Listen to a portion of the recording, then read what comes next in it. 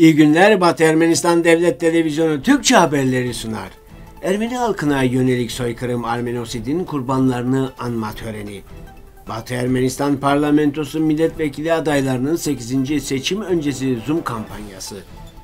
Batı Ermenistan'ın çocukları Alek Manukyan Ermenilerin öz savunma mücadelesi Mıgırdiç Yotnehbaryan Paul Gavan bir açıklama yaptı. Avrupa Konseyi Parlamenter Meclisi raportörü Berzor yolunu ziyaret etmek ve görmek istiyor. Artsak'tan 3 çocuk Azerbaycan tarafından kontrol noktası oluşturulduktan sonra evlerine dönemiyorlar. Geçmiş hakkında şimdi Ahtamar'daki Surpaç Kilisesi. 23 Nisan 2023 tarihinde Cenevre Ermeni Cemaati, Cenevre Apostolu Kilisesi'nde Ermeni halkına karşı işlenen soykırım Armenosid'in kurbanlarını anmak için hazır bulundu. Batı Ermenistan Ulusal Konseyi Başkanı Armenak Abrahamyan bir konuşmada bulundu. Sayın Peder Gusan Alcanyan, Batı Ermenistan Cumhuriyeti Dışişleri Bakanı Lidya Margosyan, Ermenistan Cumhuriyeti Başkonsolosu Vartan Sırmakeş, bayanlar ve baylar, Batı Ermenistan Parlamentosu milletvekilleri, sevgili yurttaşlar ve dostlar. 1894'ten günümüze kadar Ermeni halkına karşı işlenen soykırım Armenosid'in kurbanlarını anma gününde gösterdiğiniz sadakat ve dayanışma için hepinize teşekkür ederim.'' 1894-1923 yıllar arasında ardarda gelen işgalci Türk hükümetlerinin ana vatanlarında bin yıllık medeniyetleriyle Batı Ermenistan'ın yerli Ermenilerini imha programını yürütmesinin 30 yıl sürdüğünü hatırlatmak için bir araya geldik. Cezasız soykırım Armenosit zaman içinde devam ediyor. Dolayısıyla Hitler'in 1939'da Polonya'yı işgalinden önceki açıklamasını hatırlayabiliriz. Bugün Ermenilerin katledildiğini kim hatırlıyor? Önderliğini yaptığım Batı Ermenistan mücadelesini bu ima girişimlerine karşı yürütüyor. Gerçekten de değerler olmadan, hafıza olmadan, adalet olmadan ve tazminat olmadan bazı devletler şüphesiz barbarlığa, diğerleri ise tüm hakların ve adaletin zararına çıkar çatışmasına boyun eğecektir. Ölmek istemeyen bir yerli halk ölmeyecektir.'' Teşekkür ederim. 23 Nisan 2023 Armenak Abrahamyan Batı Ermenistan Ulusal Konseyi Başkanı Makalenin tamamı web sitemizde mevcuttur. 27 Nisan'da Fransa saatiyle 20'de, Yerevan saatiyle saat 22'de Batı Ermenistan Ulusal Meclisi milletvekili adaylarının 8. seçim öncesi kampanyası Zoom aracılığıyla İngilizce olarak gerçekleştirilecek. Toplantının konusu Batı Ermenistan Devleti'nin tanınması için koşullar. Davetiye 110 adaya sadece e-posta ile gönderilecektir. Aşağıdaki bağlantıdan Zoom toplantısına katılın. Amerika'daki ünlü Ermeni iş insanı, mühendis, teknolog ve büyük hayırsever Alek Manukyan 1901 yılında Zımırnıya, İzmir şehrinde doğdu. İlk eğitimini doğduğu yerdeki Ermeni okulunda aldı. Mezun olduktan sonra oto tamircisi olarak çalıştı. Smyrna ve Konstantinopolis Ermenilere uygulanan katliamların Armenosid'in yaygın olmadığı nadir şehirlerdi. Ancak 1915 yılında Ermenilere yönelik soykırımdan Armenosit'ten sonra Türk hükümetinin Ermenilere yönelik devam eden zulüm ve istikrarsız ekonomik durum genç adamı doğduğu yeri terk etmeye ve Amerika Birleşik Devletleri'ne yerleşmeye zorladı. Yakında diğer aile üyeleri de ABD'nin Detroit şehrinde ona katıldı. ABD'nin birçok şehrinde oto olarak çalışan Alek Manukyan, makine mühendisliği konusunda yeterli deneyim kazandı ve 1929'da kendi şirketi Masco Screw'u kurdu ve daha sonra adı Masco Corporation olarak değiştirildi. 1930'ların başında Amerikan ekonomik krizinin zorlu döneminde Manukya'nın şirketinin New York Menkul Kıymetler Borsası'na girmek için yeterli fonu yoktu. O yıllarda Ermeni Genel Yardım Birliği'ne katıldı. 1940 yılında Manukyan, Ermeni Genel Yardım Birliği'nin yönetim kurulu başkanı ve 1953'te oluşumun uluslararası başkanı seçildi. Alek Manukyan 1989'dan beri Ermeni Genel Yardım Birliği'nin ömür boyu onursal başkanıdır. Ayrıca Vartanans Şövalyeleri kuruluşuyla aktif olarak işbirliği yaptı ve 1940'da Kıdemlis Parabet seçildi. 1968'de Alek Manukyan ve eşi Mari Manukyan faaliyetleri Ermeni edebi ve bilimsel eserlerin tercüme edilmesi ve yayınlanmasının yanı sıra Ermeni kültürünün dünyaya yayılmasını amaçlayan Ermeni Genel Yardım Birliği Kültür Fonu'nu kurdu. Manukyan Ermeni Genel Yardım Birliği aracılığıyla dünyanın birçok şehrinde sürgündeki Ermeniler için Alek Manukyan'ın adını taşıyan birçok Ermeni okulu açtı. Ayrıca birçok kilise, kültür merkezi, müze inşa ettirdi. Birçok yabancı üniversitede Ermeni araştırmaları, Armenoloji kürsüleri kurdu. Manukyan, hayırsever katkılarından dolayı uluslararası ödüllere, Arjantin Cumhurbaşkanı'nın madalyasına layık görüldü ve Dünya Ermenileri Gatologosu 1. Vazgen, Ermeni hayırsevere Surp Grigorlu Savariş'i simgeleyen haç hediye etti. Büyük Ermeni hayırsever 10 Temmuz 1996'da Detroit'te vefat etti. Ölümünden sonra Ermeni Genel Yardım Birliği'nin başkanlığı kızı Louis Simon Manukyan'a geçti. Yerevan, Montreal ve Stepanakert'te Alek Manukyan'ın adını taşıyan sokaklar var. Alek Manukyan'ın mezarı Ermenistan Cumhuriyeti'ne nakledildi ve Eçmiadzin Kutsal Ana Makamı'nın avlusuna gömüldü. 1915'te Türk-Ermeni ilişkileri derken daha çok Ermenilerin katledilmesi belirtiliyor. Ancak o dönemde çok sayıda Ermeni yok edilmesine rağmen Ermenilerin her halükarda boyun eğmediğini, sessizce öldürülmesini beklemediğini, Türk askerin önünde diz çökmediğini çok az kişi kaydetti. Unutulmamalıdır ki Mıgırdiç Yot Yehbayran Ermeni de elinde silahla savaşan bir fedai oldu. O bir direnişçi ve asiydi. Sadece ailesinin değil milletin onurunu da savundu. Ermeni o savaşta öylesine ölmedi. O bir şehit oldu.'' halkımız tam olarak birlik olamadı. Bunun esas sebeplerinden biri coğrafi konum, diğer sebep ise 1914 yılında Osmanlı İmparatorluğu Ermenilerinin Osmanlı ordusunda ve Rus tebası Ermenilerin Rus ordusunda görev yapması gerektiğine dair Ermeni partileri tarafından alınan karardı. Yani partiler farklı devletlerin güçlerinde savaşan Ermenilerin birbirlerine karşı savaşmasını tercih ediyorlardı.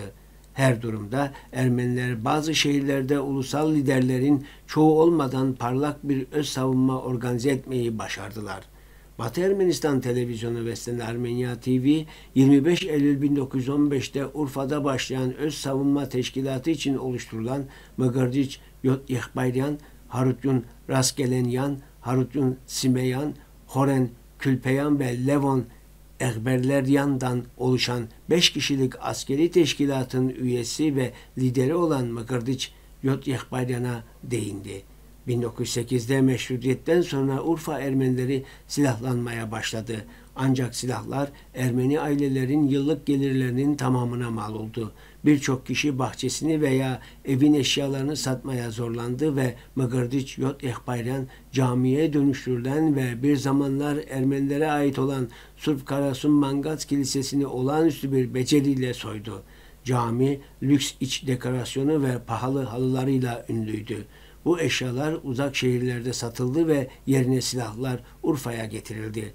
Aynı hünerle devlet memuru kılığına girerek Türk köylerinden vergi toplayabildi. Savaş sırasında Türk köylerine subay üniformasıyla girerek askerlik bahanesiyle köydeki erkekleri köyden çıkar çıkmaz rüşvet karşılığında onları serbest bırakırdı. Yine tüm parayı silah satın almak için harcardı. Balkan Savaşı sırasında Halep'te görev yaparken cüretkar gece baskınlarıyla çok sayıda Türk askerlerinin silahını kontrol altına aldı. Arap veya Çerkez gibi davranarak askerlerden ve hatta subaylardan silah ve cephane satın aldı. Operasyonunun zirvesi 1913 Şubat ayında gerçekleştirdiği Halep Kalesi'nden 150 savaş tüfeğinin çalınması oldu. Soygun fark edildiği ve kalenin tüm personeli hapsedildiği zaman silahlar çoktan Urfa'ya, Dikranagert'e ve hatta Sasun'a ulaşmıştı. Avrupa Konseyi Parlamenter Meclisi üyesi Berzor Koridoru ablukasının insani sonuçları konusunda raportör Paul Gavan şu açıklamayı yaptı. 23 Nisan 2023 tarihinde Azerbaycan Cumhuriyeti tarafından Berzor yolunun başlangıç noktasında bir sınır kontrol noktası kurulduğu bana bildirildi. Azerbaycan'ın bu tek taraflı eylemi 12 Aralık 2022'den bu yana Artsakh Dağlı Karabağ bölgesi ile Ermenistan Cumhuriyeti arasındaki tek açık iletişim yolu olan Berzor yolunun kapatılması nedeniyle artan gerilimin ortasından geliyor. Bu koridora açık ve güvenli erişim 9 Kasım 2020 tarihli üçlü deklarasyonda onaylandı ve kararlaştırıldı. Parlamenterler Meclisi bu durumu yakından takip etmiş, Ocak ayında güncel konuların tartışıldığı Avrupa Konseyi Parlamenter Meclisi Ermenistan Cumhuriyeti izleme eş reporterleri Kimmo Kiljunen ve Boryanna Aberg'in raporları ile Hukuk İşleri ve İnsan Hakları Komisyonu'nun açıklaması da dahil olmak üzere bu durumu yakından takip etmiştir. Mart ayında Hukuk İşleri ve İnsan Hakları Komisyonu'nun açıklaması yayınlandı. Büronun kararına göre 15 Mart 2023 tarihinde Göç, Mülteciler ve Yerinden Edilmiş Kişiler Komitesi tarafından Berzor Yolu ablukasının insani sonuçlarına ilişkin raportör olarak atandım. Azerbaycan, Berzor yolunun yasa dışı amaçlar için sistematik ve yaygın bir şekilde kötüye kullandığını iddia ediyor. Öte yandan Artsakh, Dağlık Karabağ halkının çektiği acılar ve bunun sonucunda ortaya çıkan ciddi insani kriz detaylı belgelenmiştir. Aylardır bölgede endişe verici bir tırmanışa sadece söylemde değil fiilen de tanık oluyoruz. Durumla ilgili raporum gecikmeden hazırlamalıyım. Mayıs ayının son haftasında söz konusu bölgede dahil olmak üzere Ermenistan Cumhuriyeti ve Azerbaycan'ı ziyaret etmeyi planlıyorum. Berzor koridorundaki duruma ilişkin birinci elden bilgileri içermesi gereken ziyaretim sırasında ilgili tüm muhataplarla görüşmeye hazırım. Amacım 9 Kasım 2020 tarihli üçlü açıklamada belirtildiği gibi Berzor yoluna erişimin açık ve güvenli olup olmadığı konusunda adil, doğru ve dürüst bir rapor hazırlamak. Artsakh Devlet Bakanı Gürgen Nersisyan kendi Facebook sayfasında yazdığına göre Azerbaycan'ın Artsakh'ı Sünik bölgesine bağlayan karayoluna bir kontrol noktası kurmasının ardından Artsakh Cumhuriyeti'nin Şuşi bölgesine bağlayan Yıksahoh, Hinşen, Metşen ve Lisagor köyleri sakinleri tam bir abluk altında kaldı. Stepanakert ile bağlantıları kesildi ve Ermenistan Cumhuriyeti'nin diğer bölgelerine gitme fırsatından mahrum kaldılar. Nersisyan, Azerbaycan bir kontrol noktası kurup o bölgede yolu kapatmadan önce Metşen köyünden biri 3 yaşında olmak üzere 3 çocuk Goris şehrine gitti ve şimdi ebeveynlerinin yanına dönemiyorlar. Nisagor köyünde de durum aynı. Köyün birkaç sakini Ermenistan Cumhuriyeti'nin diğer bölgelerinde kaldı diye yazdı. Artsakh Devlet Bakanı Gürgen Nersisyan söz konusu köylerden ambulansların Ermenistan Cumhuriyeti'nin farklı bölgelerine hareketini ve vatandaşların geri dönüşünü organize etmeleri için Rus barış güçlerine başvurdu. Azerbaycan tarafının 22 Nisan'da Hakkari Nehri Köprüsü'nü kapattığını hatırlatalım. Bu yolun fiilen kapatılmasıyla Sünik bölgesi Gornizor'dan ile Artsak'ın Lisagor, Mesçen, Hinşen ve Yeksahoh köyleri arasındaki kara bağlantısı da kesilmiş oluyor. Daha sonra Azerbaycan o bölgede kontrol noktası kurduğuna dair bir açıklama yaptı. Batı Ermenistan'ın Van Gölü'ndeki dört adadan en büyüğü olan Ahtamar üzerindeki Surpaç Kilisesi özgün mimari çözümleri ve tarzıyla öne çıkıyor. Kilisenin Ermeniliğini kanıtlayan özgün mimari çözümleri ve kompozisyonu Türk inkarcı politikasının klişelerini bile ortadan kaldırıyor. Vasbraga'nın Arzurunyans Krallığı'nın ruhani merkezi olan manastır kompleksinden sadece Surpaç Kilisesi korunmuştur. 915-921 yıllarında Vasbragan Kralı Gagik Arzuruni'nin himayesinde Mimar Manuel tarafından yaptırılmıştır. Manastır 1917'de terk edildi. Kilisenin rölyefleri özgünlük ve orijinalliğiyle öne çıkıyor. Duvarlarda doğa ve bitki süslerinin yanı sıra eski ve yeni ahiti ve layık temalar simgeleyen kabartmalar bulabilirsiniz.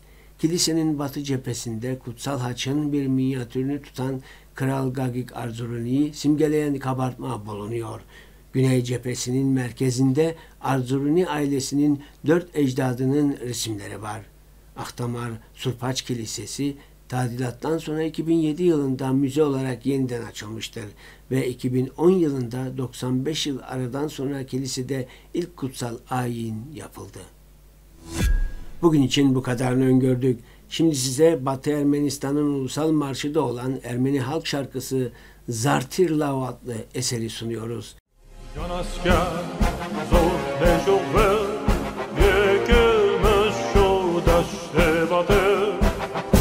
Անասկա զոհ մեժողը